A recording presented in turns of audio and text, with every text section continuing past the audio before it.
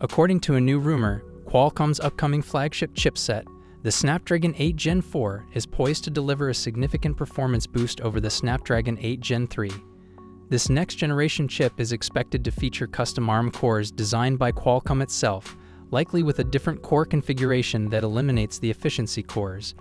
Rumors suggest that the Snapdragon 8 Gen 4 will include two big cores and six medium cores, utilizing TSMC's 3M process.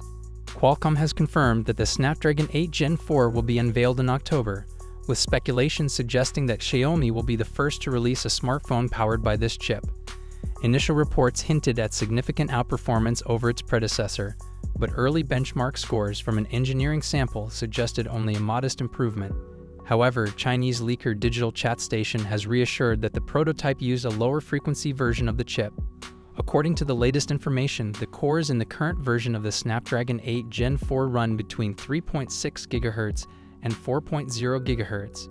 Leaked benchmark scores show the chip achieving around 2,700 points in the single core test and 10,000 points in the multi core test. While this marks a substantial increase compared to the Snapdragon 8 Gen 3 powered Galaxy S24 Ultra, it still falls short of the iPhone 15 Pro Max. These results challenge rumors that the Snapdragon 8 Gen 4 would surpass the performance of Apple's upcoming A18 Pro chip. However, Qualcomm likely has some final optimizations to make, which could improve these benchmark scores before the official release. Digital Chat Station also mentioned that the first phone powered by the Snapdragon 8 Gen 4, expected to be the Xiaomi 15, will be launched in mid October. What are your thoughts on this? Let me know in the comments section. We're now going to run through the full specs design and the expected pricing to help you guys decide if it is worth the wait for my regular viewers. You guys have seen this, so just skip to the next video, but if you're new here then hit subscribe now, and we'll get right into it. So with the Galaxy S25, equipped with a 6.2-inch 120Hz dynamic AMOLED display boasting a resolution of 2340 x 1080, shielded by Gorilla Glass Victus 2 for durability. For selfies, there's a 12 megapixel punch hole front camera. Turning to the back, the phone features a 50 megapixel primary camera, a 12 megapixel ultra wide lens, and a 10 megapixel telephoto lens. It will be powered by the Snapdragon 8 Gen 4 or possibly the Exynos 2500. The device offers 8 gigs of RAM with storage choices of 128 gigs or 256 gigs, utilizing UFS 4.1 technology. The Galaxy S25 houses a 4000 mAh battery supporting 25 dB fast charging. Connectivity options include 5G support, Bluetooth 5.3, and Wi-Fi 7. Operating on One UI 6.1 based on Android 14, the phone is expected to be released in January 2025 with an estimated price range of $800. Now let's introduce the Galaxy S25 Plus, featuring an impressive 6.7-inch 120Hz dynamic AMOLED display with an upgraded Quad HD Plus resolution of 3088 x 1440. It incorporates Samsung's advanced M13 OLED panel safeguarded by Gorilla Glass Victus 2 and reinforced with aluminum 2.0 for added durability. For selfies, a 12 megapixel punch hole camera takes the spotlight. On the back, you'll find a powerful camera setup with a 50 megapixel primary lens, a 12 megapixel ultra wide lens, and a 10 megapixel telephoto lens. It's equipped with the Snapdragon 8 Gen 4 or the Exynos 2500.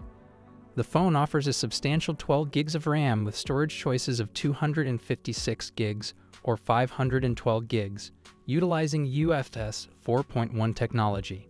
The Galaxy S25 Plus features a robust 4,900 mAh battery supporting 45 daily fast charging Connectivity options include 5G support, Bluetooth 5.3, and Wi Fi 7. Operating on One UI 6.1 based on Android 14, the expected price for this device is around $1,150. Finally, let's explore the flagship of the lineup, the Galaxy S25 Ultra, showcasing a generous 6.9-inch 120Hz dynamic AMOLED display with a crisp resolution of 3088 x 1440. It incorporates Samsung's advanced M13 OLED panel safeguarded by the durable Gorilla Glass Victus 2. For capturing stunning selfies, there's a 12 megapixel punch hole camera, On the back, the phone features an outstanding camera setup, including a 200 megapixel primary lens, a 12 megapixel ultra wide lens, a 50 megapixel 3x telephoto lens, and a 10 megapixel telephoto lens with an impressive 10x optical zoom.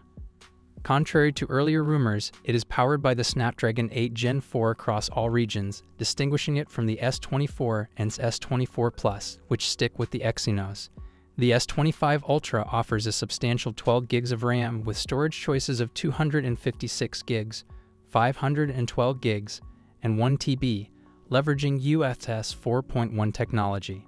Housed within is a robust 5000 mAh battery supporting Swift 45V fast charging.